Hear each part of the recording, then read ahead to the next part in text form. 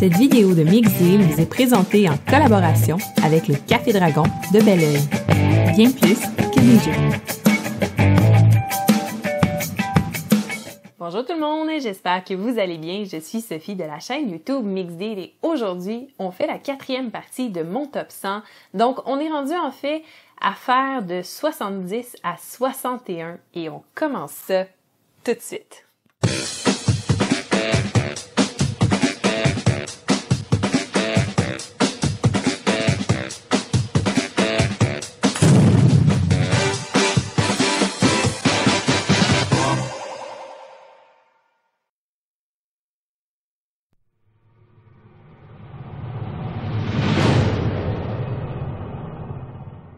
Donc, en position 70, c'est un petit jeu, mais pas tant, qui joue seulement à deux joueurs et qui pourrait être considéré par certains comme un wargame. C'est un jeu qui recrée un événement historique du Watergate, justement, où en fait un joueur va incarner l'équipe d'administration de Nixon et l'autre va incarner la presse. Et là, on essaie de prouver qu'on est la presse que Nixon a fait des choses tout croche et Nixon de son côté essaie de soudoyer les gens pour pas que l'affaire éclate. On a un certain nombre de tours pour y arriver, on joue le jeu avec des cartes qu'on a en main. Le facteur chance est vraiment très limité donc c'est très très très stratégique, c'est super intéressant comme jeu, ça joue super bien, c'est rapide mais vraiment profond. C'est un bon jeu et c'est pour ça qu'il est dans ma position 70 Watergate.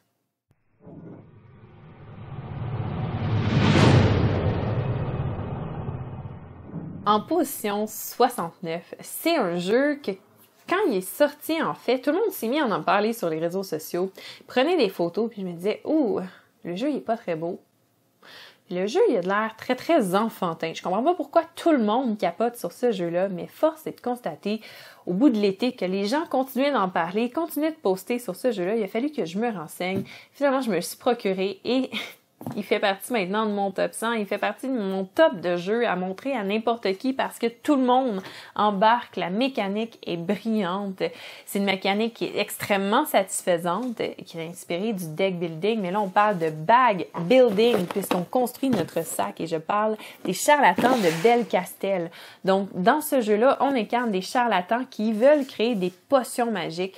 Et dans ces potions-là, en fait, on met des ingrédients qu'on va piocher de notre sac. Par contre, dans notre sac, on possède également des ingrédients qui peuvent quand on en met une certaine quantité précise, faire exploser notre potion. Donc, un peu de système de push your luck parce que faut choisir quand arrêter de piocher. Mais plus on pioche, plus on peut faire de combos, plus on se rend loin dans notre chaudron, plus on fait des points de victoire.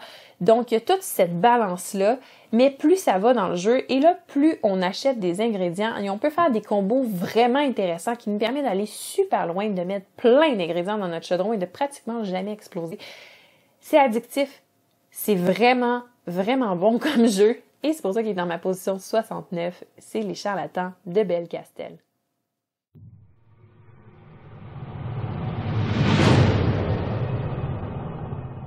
En position 68, c'est un jeu qui me rappelle ma jeunesse parce que j'y ai joué énormément sur l'ordinateur à plusieurs versions.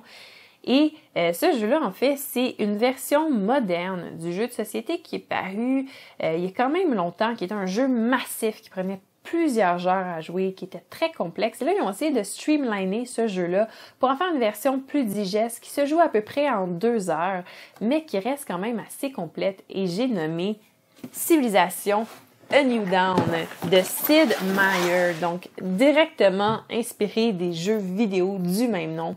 Dans ce jeu de civilisation-là, ben, on est, justement, on essaie de créer notre civilisation, de l'étendre pour qu'elle devienne de plus en plus forte en prenant le contrôle de certains territoires sur la carte, en combattant nos adversaires. C'est vraiment intéressant comme principe. Et le principe de sélection d'action dans ce jeu-là est vraiment original avec en fait une ligne de temps. Et là, plus l'action reste longtemps dans la ligne de temps, plus il avance et plus elle devient forte. Mais dès qu'on l'utilise, elle retourne au bas de l'échelle et à sa version la moins puissante pour faire décaler les autres actions. C'est super brillant comme principe de jeu. Ça joue rapidement. Ils ont vraiment réussi à recréer cette sensation-là de wow, je développe ma civilisation. tout, cette, ouais, c'est ça, tout cet accomplissement-là qu'on ressentait dans Civilisation, mais là, compacté ensemble pour faire un jeu qui fait deux heures. Et quand on rajoute l'extension, mes amis, c'est assez incroyable. Fait c'est pour ça qu'il est dans ma position 68 ici. Civilisation, A New Down.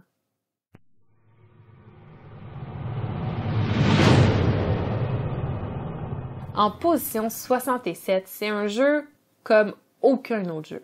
En fait, je vous mens pas, je pense qu'il n'existe pas de jeu comme ça. C'est un jeu de campagne, un jeu narratif, mais où vous jouerez pratiquement pas sur un plateau. Il y a un plateau, mais il sert à rien. C'est comme un jeu de rôle, mais sans mètres de jeu. C'est, ça se décrit pas très bien. Ça se décrit mieux en montrant la boîte de jeu. C'est Détective, un jeu d'enquête moderne dans ce jeu-là, on essaie de résoudre une série d'enquêtes qui va nous mener à un point culminant où là, on va avoir vraiment résolu l'affaire au complet. Il y a à peu près cinq enquêtes dans le jeu, si je me trompe pas. Et ça se joue jusqu'à cinq joueurs. C'est coopératif.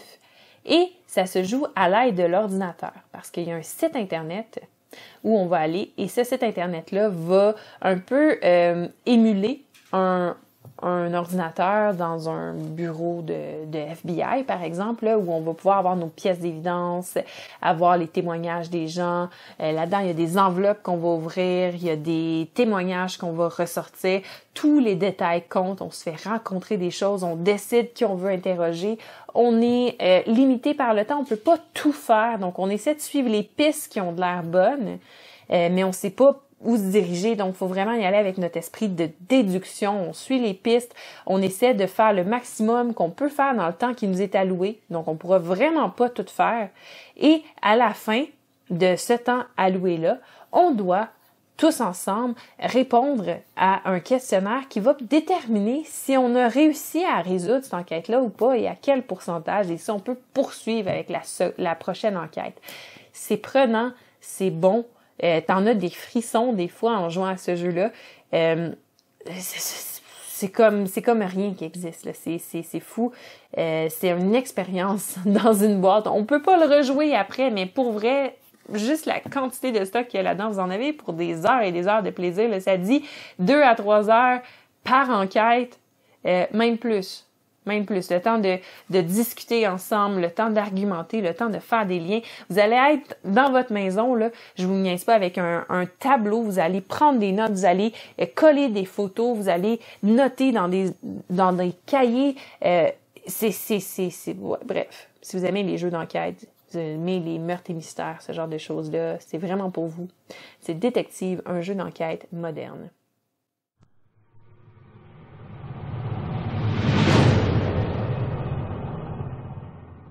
En position 66, c'est un jeu euro et un jeu euro qui, qui allie une mécanique que j'aime énormément qui est le placement de dés.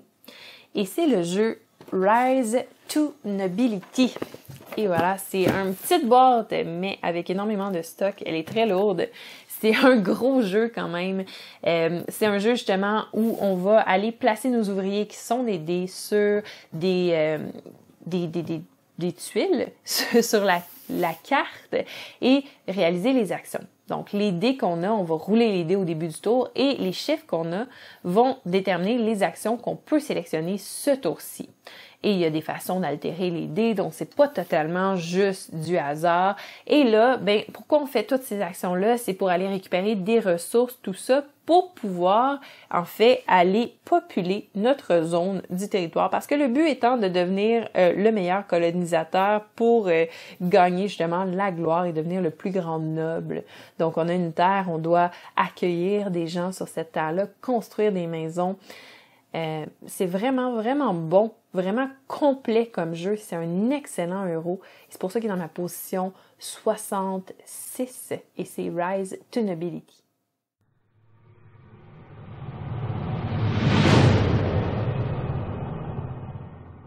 Position 65, c'est également un jeu de gestion de ressources avec quelques twists où on va également devoir construire des maisons, mais là dans un univers totalement fantastique et qui va nous rendre vraiment nostalgiques parce que c'est un univers que tout le monde connaît. C'est l'univers des frères Grimm et c'est la forêt des frères Grimm ou en anglais The Grimm Forest. Donc dans ce jeu-là, on incarne des petits cochons et là, on veut construire trois maisons. très typique. Et bien, on va euh, en fait aller récolter des ressources. Il y a un principe où il y a un marché commun. là, on doit choisir quel type de ressources on va aller récolter. Là, si plusieurs personnes choisissent la même, ils doivent se le partager, ce qui fait qu'ils n'ont pas beaucoup de ressources chaque. Avec les ressources, on va les dépenser pour construire des maisons. On peut choisir quelle qualité de maison on veut construire, de paille, de bois ou de briques. Et ben, Bien évidemment, les maisons de briques vont nous rapporter plus de points, mais en plus de tout ça, il y a des cartes fables de toutes sortes d'histoires des frères que l'on connaît bien, qu'on peut jouer pour nous aider. Il y a des amis qu'on peut euh, recruter également pour nous aider, donc des personnages qu'on connaît super bien de tous les contes. Il y a des figurines, c'est magnifique, c'est super bon comme jeu, c'est prenant et non, ce n'est pas du tout enfantin. Et c'est un excellent jeu, c'est pour ça qu'il se retrouve en position 65 et c'est La forêt des frères Grimm.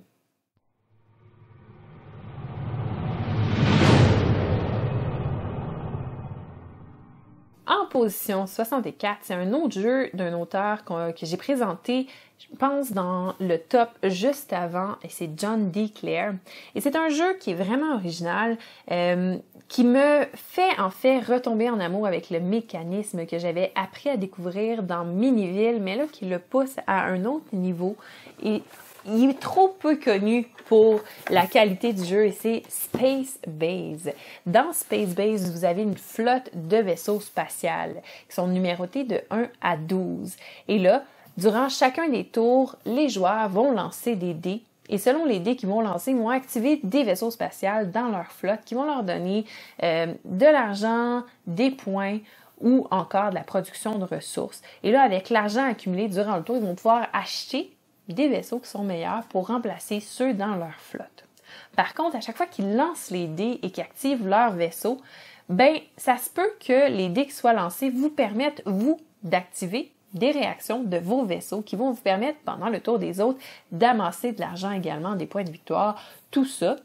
Et le but de tout ça, en fait, c'est de faire une course au point de victoire. Donc, le premier qui atteint un nombre X de points de victoire remporte la partie. Donc, c'est effréné, c'est super bon, c'est satisfaisant parce que plus le jeu avance, plus notre flotte de vaisseaux spatials devient impressionnante. On se crée un petit mécanisme qui fonctionne bien.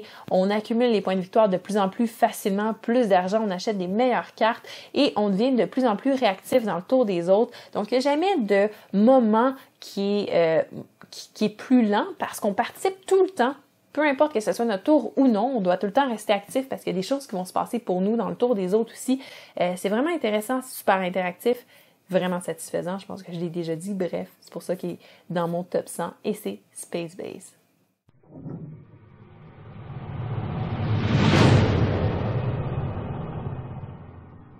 En position 63 dans un univers que j'affectionne particulièrement, qui va se retrouver partout dans mon top parce que j'en ai beaucoup de jeux dans cet univers-là. Vous l'aurez deviné, c'est dans l'univers de H.P. Lovecraft. Et celui-là, c'est les contrées de l'horreur ou Eldritch Horror en anglais. Donc, dans les contrées de l'horreur, ça ressemble énormément à Arkham Horror, mais en même temps pas. Il y en a qui vont dire que c'est la version simplifiée. Pas très d'accord parce que les deux ont un certain niveau de complexité. Celui-là, plutôt que se dérouler dans la ville d'Arkham, va se dérouler dans le monde entier. Par contre, dans celui-là, ce qui va se passer, c'est que le grand ancien, il va avoir plusieurs étapes pour pouvoir le neutraliser. Il va falloir euh, rencontrer certains objectifs à chaque étape euh, pour pouvoir progresser dans l'histoire et réussir avant un temps X à le neutraliser. Sinon, on perd. Donc, on se promène dans le monde, on essaie de réaliser certaines enquêtes, gagner des indices euh, pour pouvoir justement le neutraliser tout en combattant les monstres, tout ça en, en gardant notre santé mentale et notre santé physique c'est super bon, c'est super prenant, ça se joue bien. Je l'adore. C'est vraiment une belle découverte que j'ai fait euh, quand même récemment. Et c'est pour ça qu'il se retrouve dans ma position 63. Et c'est les contrées de l'horreur.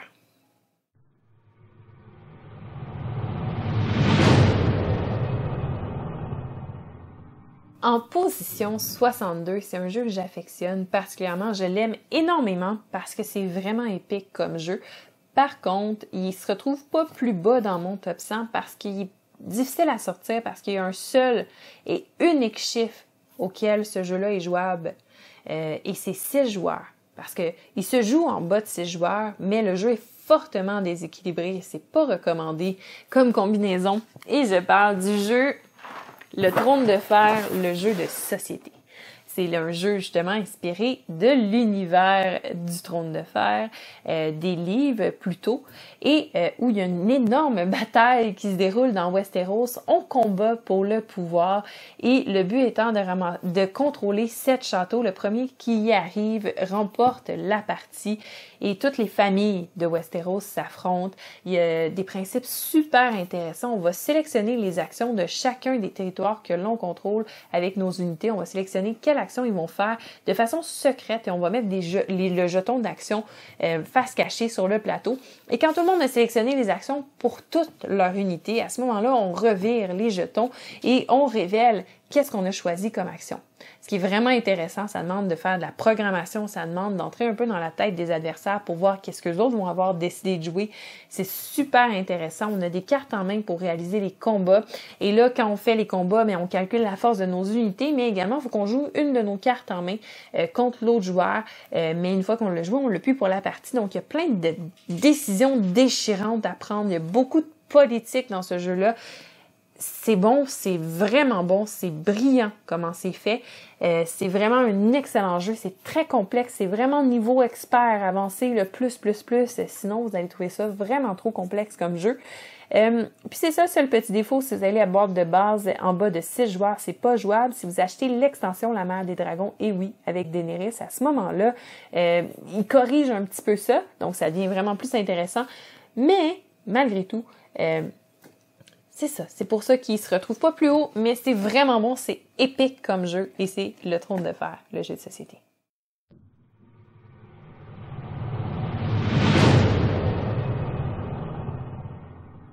En position 61, c'est un jeu dont j'apprécie fortement la thématique. Euh, il se retrouvait dans mon top 10 quand je l'avais fait en 2018. Il n'a pas fait mon top 9 l'année passée, mais quand même, il reste dans mon top 100 en, position justement 61. Euh, c'est un jeu de placement d'ouvriers, gestion de ressources avec des dés également. Et c'est les champions de Midgard qui se placent dans un univers viking et où on doit aller placer nos ouvriers pour aller récolter certaines ressources, aller activer certains lieux de la carte, mais on doit également aller placer nos dés qui sont nos combattants vikings à certains endroits pour combattre des monstres et ramasser des points de victoire euh, et en fait, ben, c'est ça, on roule nos dés selon les résultats, on gagne ou pas contre le monstre, on perd des dés euh, qui sont des combattants, tout ça, on fait des voyages mythiques. C'est super bon comme jeu, c'est vraiment prenant, c'est bien fait. Euh, ça reste un jeu que j'apprécie énormément. Avec les extensions, c'est encore mieux. C'est pour ça qu'il est dans ma position 61, c'est les champions de Midgard. Et voilà, c'est ce qui met fin à ma quatrième partie de mon top 100. J'espère que vous avez apprécié. Gênez-vous pas pour laisser en commentaire le jeu que j'ai présenté qui vous a le plus intéressé parmi ceux que j'ai présentés. Et si vous avez aimé la vidéo, n'hésitez pas à laisser un pouce en l'air, un commentaire, à vous abonner à sonner la cloche aussi pour ne pas manquer aucune vidéo que je mets en ligne régulièrement. Et d'ici là, mais je vous souhaite une super belle journée et à la prochaine!